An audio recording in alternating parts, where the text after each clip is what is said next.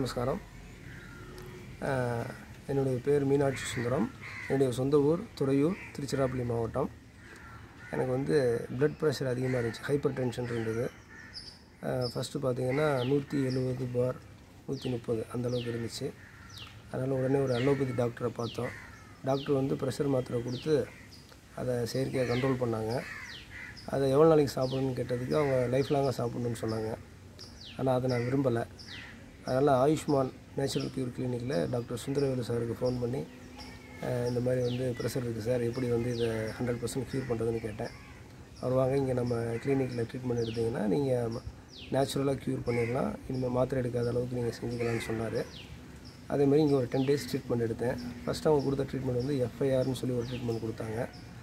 அந்த ட்ரீட்மெண்ட்டில் பார்த்தீங்கன்னா நல்லா உடம்புல வந்து இருக்கக்கூடிய கழிவுகள் அதாவது இந்த டீடாக்ஸ்னு சொல்கிறது தேவையில்லாத கழிவுகள்லாம் வேர்வை மூலமாக வெளியேற்றுவாங்க.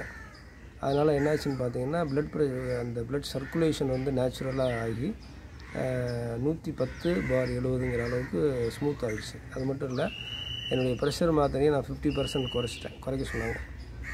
அதனால் மா மாத்திரை ஃபிஃப்டி பர்சன்ட் குறைச்சுமே ப்ரெஷர் வந்து ரொம்ப நார்மல் லெவலில் வந்துருச்சு. அதற்கப்புறம் காலில் பார்த்தீங்கன்னா ஒரு எடிமா பாதமெல்லாம் நீர் கோர்த்துக்கிட்டு வீங்கிருச்சு. அப்படி இப்போ கையை வச்சு அழுத்தினோம்னா ஒரு இம்ப்ரெஷன் ஃபார்ம் ஆகும். நரம்புகள்லாம் இது வெளியில் தெரியாது. அதனால் வந்துக்கிட்டு ஒரு ட்ரீட்மெண்ட் கொடுத்தாங்க. இசிபிஎல்டி அப்படின்னு சொல்லி ஒரு ட்ரீட்மெண்ட் கொடுத்தாங்க. அந்த ட்ரீட்மெண்ட்டில் பார்த்தேன். அந்த ட்ரீட்மெண்ட் முடிஞ்ச ரெண்டாவது நாளே அந்த எடிமாயெல்லாம் கிளியர் ஆகிடுது all veins are clearly visible நரம்பெல்லாம் நல்லா வெளியில் தெரிகிற அளவுக்கு எடிமா கம்ப்ளீட்டாக க்யூர் ஆகிடுச்சு ஸோ இப்போ பார்த்தீங்கன்னு சொன்னாக்கா ப்ரெஷர் நார்மலாக இருக்குது உடம்புக்கும் நல்லா இருக்குது உடம்புல வந்து எல்லாம் ஃப்ரெஷ்னஸ் இருக்குது நல்லாயிருக்கு. இப்போ கொஞ்சம் ம லேகியம் இதெல்லாம் கொடுத்துருக்குறாங்க.